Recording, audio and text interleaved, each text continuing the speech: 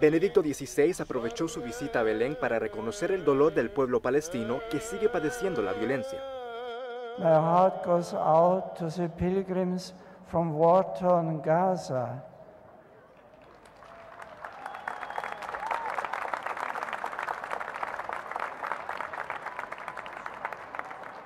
I ask you, I ask you to bring back to your families and your communities my warm embrace and my sorrow for the loss, the hardship, and the suffering you have had to endure.